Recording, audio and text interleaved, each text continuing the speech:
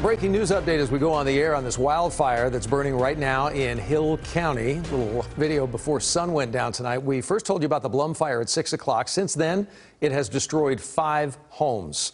Texas A&M Forest Service telling us uh, 25 more structures threatened at this hour. No evacuations, though, are currently in place. People living north of White Rock Creek, though, are being asked to leave the area because the fire could spread there.